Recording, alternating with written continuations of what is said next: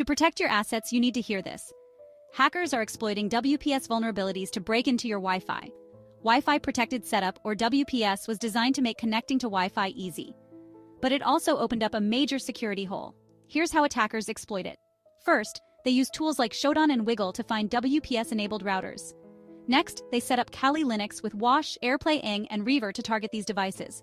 With Wash, they're able to detect WPS-enabled devices. To stay anonymous, they use MAC spoofing to hide their identity. Then comes the brute force attack with Reaver. This tool guesses the WPS pin until it cracks it, granting access to your network. Once inside, they can do anything from stealing data to launching further attacks. Scary, right? So how do you protect yourself? Take action. Disable WPS on your router, set unique pins, and switch to WPA2 or WPA3 encryption. Don't wait for an attack to happen. Reach out to IntSpired to keep your assets protected.